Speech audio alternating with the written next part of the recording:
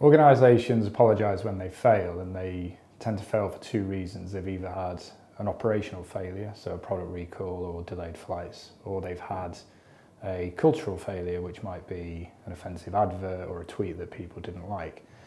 Uh, operational failure deals with consumer rights. Um, fairly easy to apologise for that. You explain what happened and you tell the customer, here's what we're going to do to uh, make it right.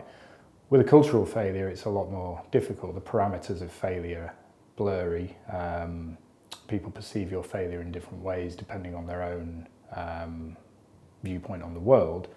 Uh, one interesting example of this happening recently was a British uh, stationery retailer. They partnered with a, a newspaper, uh, not a particularly popular newspaper in terms of uh, political views and campaigning.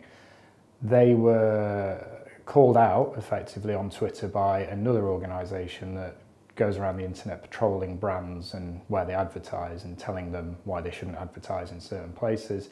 So the retailer, instead of referring to a robust crisis management plan, effectively outsource their crisis management process to Twitter. And when you do that, you can pretty much guarantee that you're going to be apologising within 24 hours. Um, so they said to Twitter, um, all right, we've heard you, what do you think we should do? And Twitter's not the most rational or measured place, so they ended up giving a really grovelling apology that had almost zero benefit to perceptions of their brand.